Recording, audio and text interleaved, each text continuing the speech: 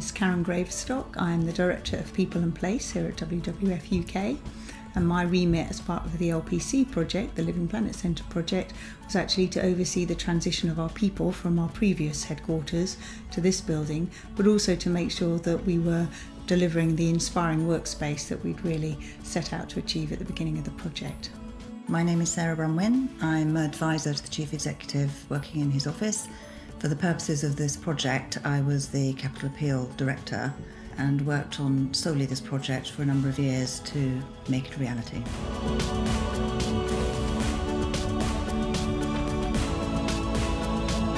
WWF UK is a conservation organisation, we're a charity. We were established in 1961, and at that point, our primary objective was to conserve species around the world. Our famous panda logo is uh, very well known. WWF has a very clear mission, which is to have a world in which people live in harmony with nature. And we've always focused on those areas which has the richest biodiversity, but is probably at the most um, exposure to threat and risk. In more recent years, we've broadened that agenda, so we've been very much more focused on sustainability as well as conservation, and that's where the Living Planet Centre comes into bear as an exemplar for demonstrating how sustainability can work in the built environment. Panda House, which was our previous HQ, we'd been there for over 25 years. It was a leased building and it was originally intended as light industrial units, it was never intended as an office space. It was a much loved building, but it didn't enable us to demonstrate sustainability in the way we would have uh, chosen to. We were offered a lead gift by a long standing donor who never liked our previous accommodation. And he thought we needed something more befitting an organisation of our size, internationality, and reach. So that enabled us to actually start thinking the impossible or dreaming the impossible, which is, gosh, we could actually maybe do something. We wanted to see in a new building significant changes in the way we worked because we realised that that would be very helpful in us delivering more effectively on our mission. We were very aware of the fact that teams did not work together in the previous building and the way our furniture and design was set up didn't it wasn't conducive to that. We saw this as an opportunity to have much more integrated working, for people to get to know what other people did, not to have their own desks so people didn't become too territorial. And it has allowed a huge amount of interdepartmental conversations, engagement, understanding, and a much broader opportunity for us to work in a more modern way. What people very much wanted was to have no directors in offices, so we don't have, not even our chief exec has an office. People wanted a, an open plan layout, one that used more flexible use of space. So we didn't want just a desk for everybody as we've had before, because we knew that that wasn't a good use of the space. We wanted breakout space, people wanted a quiet space that they could work. We wanted more collaborative areas that people could work in. So it was really about getting people to think about what activities they were going to be doing and then thinking about the space that would enable them to do that most successfully. It is very different, but I think having involved the people and kept communicating with them, got them involved, all of those different things have really helped to make it a success. In any procurement process, we have to go through a very clear and open tender board process. So we did that and we invited a number of manufacturers to sort of put in some pre qualification questionnaires that they had to be completed. And we shortlisted down to four manufacturers that we felt we could work with, that understood our vision, not just for the building, but understood how, as an environmental organisation, the sustainability of any product is incredibly important to us. Going through that process, there was a large tender board. I was on the tender board along with many of my colleagues and we went through a very thorough process where Kinnarps and the other manufacturers were asked to present. They had to provide a great deal of information, and based on the outcome of that, we were um, able to award the contract to Kinnarps.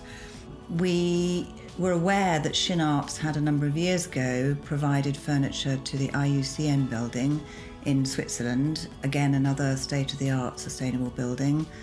In Europe, it's called LEED that they were after, as opposed to BREEAM that we've gone for here.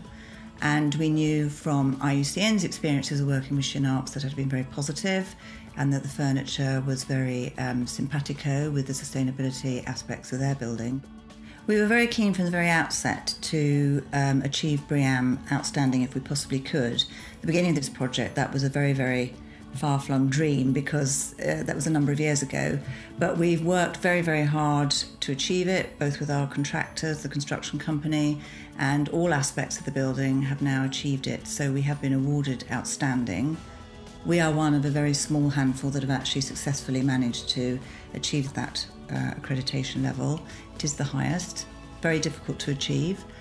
We also wanted to have it so that we can invite companies, other people in, students, architecture students, to look at what a BREEAM outstanding building looks like so that they can think, gosh, that's fabulous, we can go and do that, we could design that.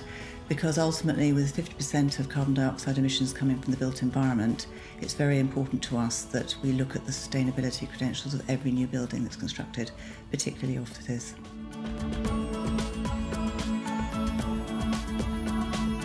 We've worked very closely with the team at Kinnarps just to make sure that every piece of furniture that comes through the door meets the standards that we have, be it FSC or any other criteria under sustainability. So we have to be very careful about everything from plastics to metals just to make sure that we're happy with the content, where they've come from, how they might be recycled. So our environmental manager was very close, closely overseeing that and working again with the team at Kinnarps.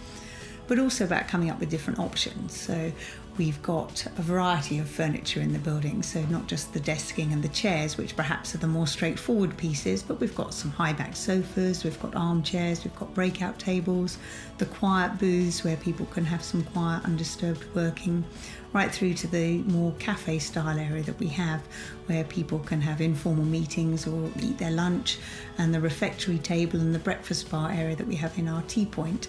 And they're really really much used people really enjoy using those spaces. People are much more mobile. People actually enjoy the physical space. They enjoy the variety of the furniture available to them.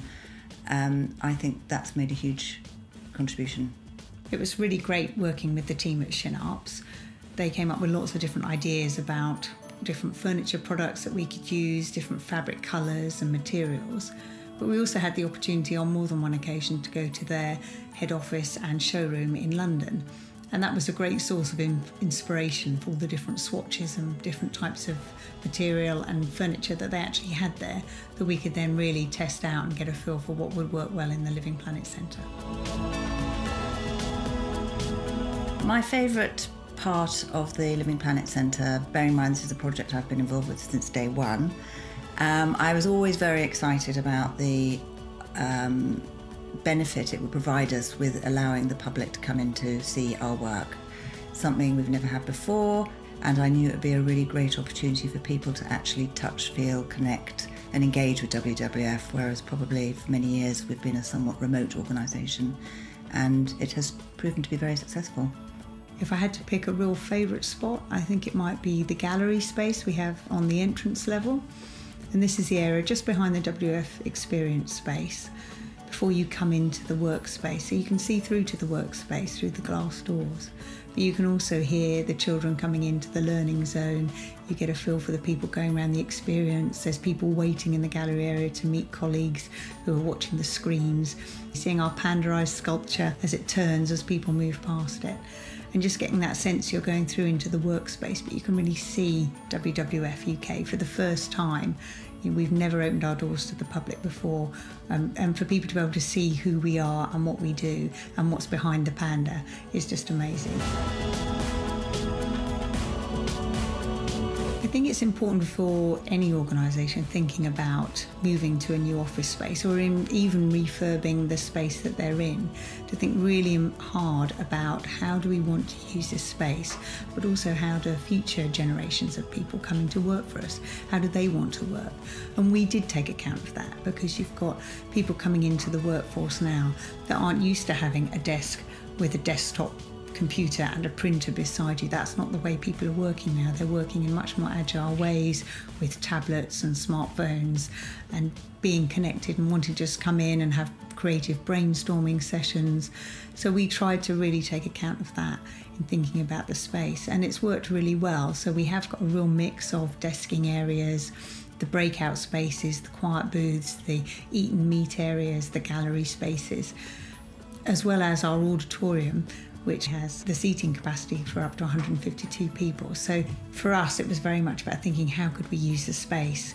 And that was really important about getting it right. And then working with a furniture manufacturer who could really understand what we wanted to achieve. It was about building a, a, building that could inspire, it could engage, and it could educate. And we really have achieved all of those three things with what has been built here in the Living Planet Centre.